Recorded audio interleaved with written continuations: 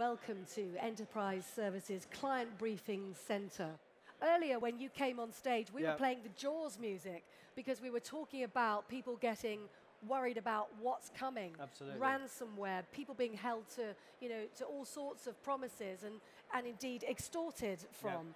So tell us more a bit about that and, and, and how we can be safe and secure that we're not going to be victims of that and I think that Jaws example is a really interesting one. So uh, about 40 years ago, Spielberg's film captured, I think, the essence of how it feels to be a chief exec or a CIO at the moment of a cyber attack.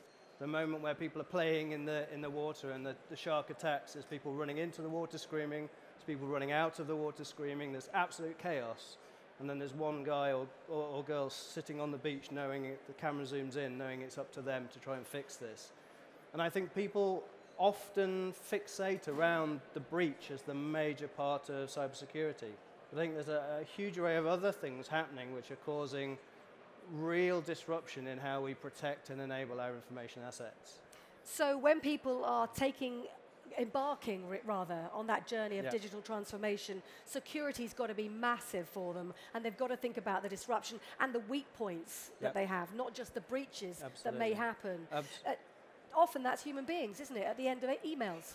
Absolutely, absolutely. And, and I, I, think there are three huge waves of change occurring. And there's a, there's a huge like, dynamic and relentless adversary who are trying to steal and disrupt our business and steal value and data.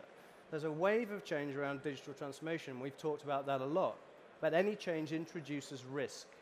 And then there's a huge wave around regulation and what privacy means and how that's enabled. And all of these waves are coming together in 2017.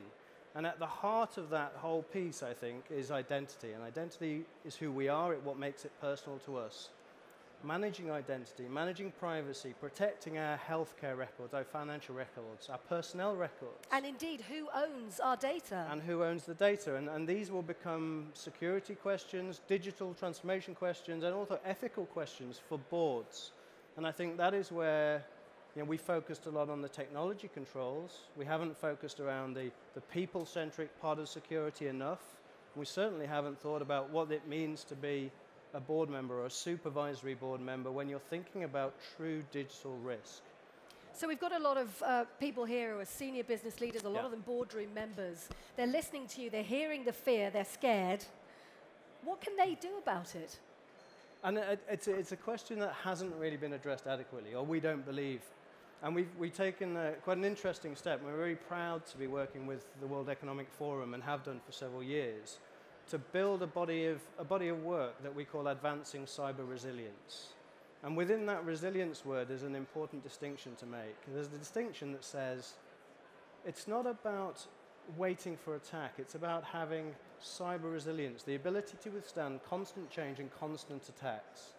And we've built two cornerstones within this work that will be presented at, at Davos in Switzerland this year to, to the, the world's leaders. One cornerstone is that cybersecurity is a leadership issue. The other cornerstone is that it must be built into your business strategy because so without is, that, this is structural, structurally fundamental yeah. to the future of your business, and to enable us to think about how we chart that course, how we start to you know turn the tide a little bit.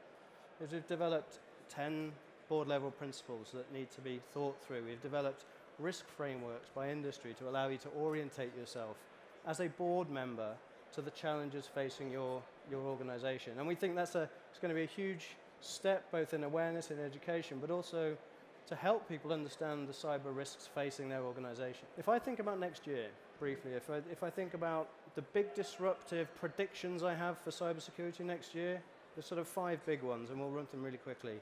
There's a talent war between black and white, between the cyber protectors and the cyber criminals.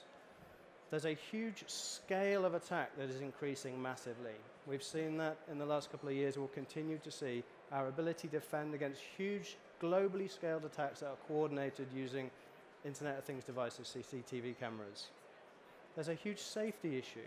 We're no longer talking about just digital assets and the digital world we inhabit, and our, and our, and our retail records, but safety in healthcare, in automotive, in internet-enabled devices, in power production, and all of these things.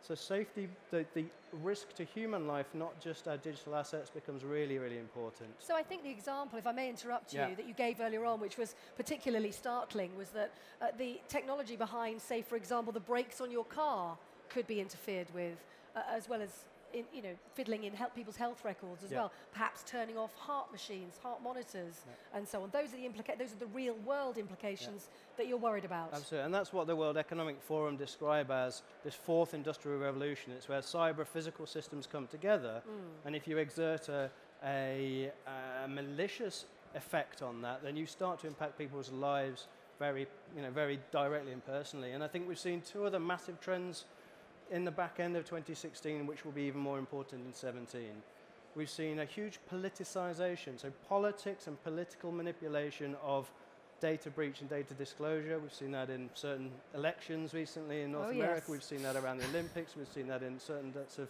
different leaks. We'll continue to see data disclosure being used for political means. And I think we've seen a, a huge rise in old school extortion. You know, cyber criminals using tools like ransomware to extort value from us, from individuals, from enterprises and governments. And that can disrupt a hospital's operations just as much as a sophisticated attack. So, you know, there's a talent war out there. There's a huge scale of attacks. There's phenomenal changes in the environment that we're facing.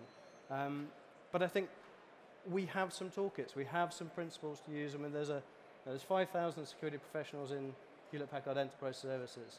We've got a global network of 10 SOCs, and we see 100 billion events every month. We really understand what's happening, and I think you know, that enables you to start to think about how we turn the tide on some of these scary, scary predictions. So are you all scared now? I mean, has he frightened you all to death? I hope so. Okay. Uh, so if everybody's scared, can they also be confident would be my last question, Andrzej. So I think the word scared is, is emotive. I think we should be concerned and we should take a great deal of time and effort thinking about these problems.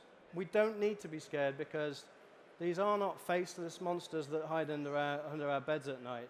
There are things we understand, we track, we understand adversaries, we understand the risks facing them. We've got some great capabilities to help people work, walk through those.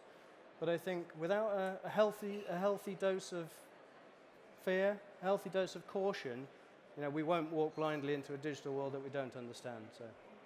Fear, fear mixed with a little bit of preparation, I think, is the recipe. I think the message there is be afraid, be very afraid. Andrzej oh, Kawalec, thank you very much thank indeed. Thank you very much. Cheers. Thank you.